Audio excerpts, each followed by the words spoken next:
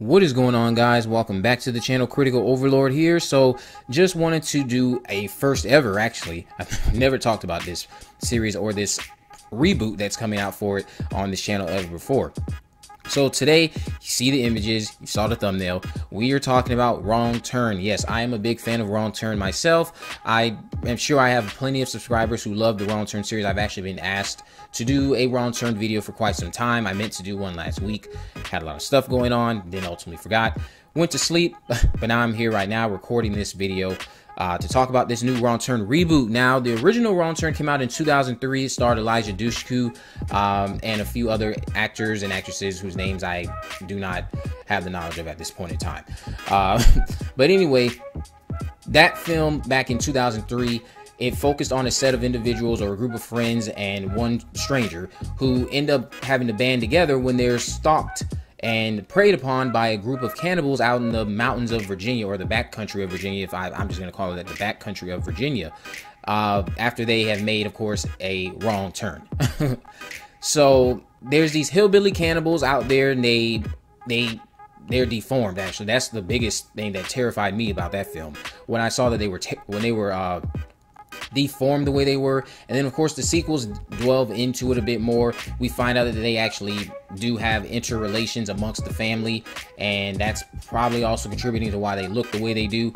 But that movie back in 2003 is not one of the one of the greatest movies to ever come out or anything like that. But for what it was, the original Wrong Turn, that was a pretty solid film. Back in 2003, that was a pretty solid film. It still holds up today for most of its qualities and most of the elements that go into filmmaking. Uh, a lot of stuff feels kind of out, feels kind of cheesy now as would any movie. Honestly, it's very very rare that you find a lot of movies from back in the day that'll hold up. Wrong Turn holds up, but there's a lot of it that's kind of like eh.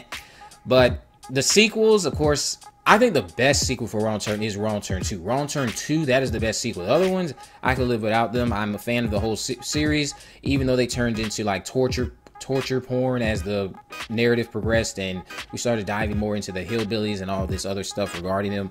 But anyway, there's a reboot coming out and it started filming last year in Ohio. Uh, it's called Wrong Turn the Foundation. It's yes, it's a reboot. It's the seventh installment in this franchise. It is a being described as a reimagining of the of the original, and it is being written by Alan B. McElroy, who, if I'm not mistaken, um, he he created the first he had had a, had something to do with the first movie. He's the one responsible for the first movie. Uh, so that already is definitely something to be excited about. The original creator of this franchise is back. But recently iHorror over the weekend they had a chance to reach out to the the film's director who is who is mike p. Nelson. Um, not really too familiar with mike p. Nelson but they asked they had this to ask because of course we're living in a very fluid time period and the movie was supposed to come out this year to everyone's knowledge and they've been done filming for quite some time. And it was it started shooting last last year in ohio and it's been done for quite some time so, when asked about the release, he had this to say about the film's pending release. He said, "I honestly have very little news, but I can say we just I can say we just completely finished the movie this past week and it is wild. The next steps will be in the hands of our distributor." So, finishing everything of course meaning they they are done with the editing process, they're done with their final product, they're satisfied and they are ready to get it out there. The only thing that they need to worry about or be concerned with is the distributor deciding when it is the best appropriate time to put this movie out. Now, that the distributor of this movie is Saban Films. They tried to reach out to them, they haven't got any comment back.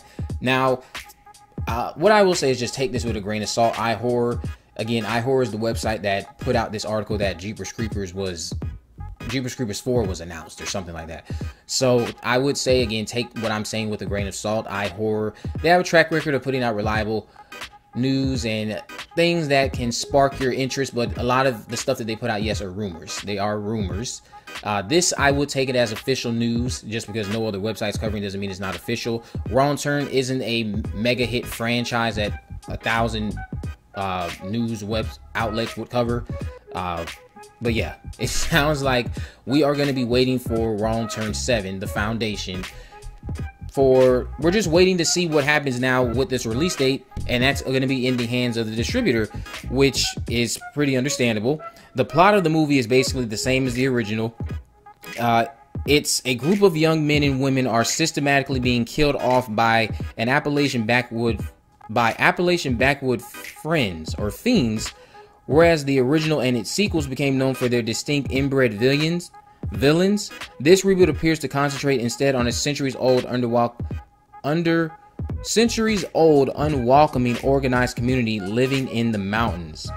Um, so whether or not they're actually going to be cannibals, we have to actually see. But Wrong Turn and this whole franchise has been built on this idea of cannibalism and cannibal killers. So them stepping out of that, I don't really have a problem with it. Like I said before, the sequels they started stretching into some territory that was just really unnecessary. This game became to the point where like you're questioning why are we still going through these movies? Why, why are these movies still being made?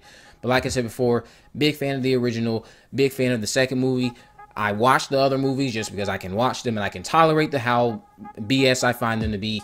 Some reason I still get some kick out of it. Maybe I just it's one of those guilty guilty pleasure franchises where the movies are so bad, but they're not that bad where you can't stand to look at it. You get a few laughs from it actually for just how absurd they are. but anyway, let me know what you guys think about this down in the comment section below. Are you excited for Wrong Turn 7? When are you going to expect it to come out? Do you think the distributor, Saban Films, will put it out later this year, straight to VOD, of course? That's what we all expect. Uh, let me know down in the comment section below. If you haven't already, make sure you subscribe, turn on post notifications so you never miss a video. In the description, I have links to my social media accounts. I'm on Facebook, Twitter, and Instagram. You can message me there to let me know if there's any movies, news, or reviews you'd like me to cover in the future. With all that in mind, guys, I will see you in the next video.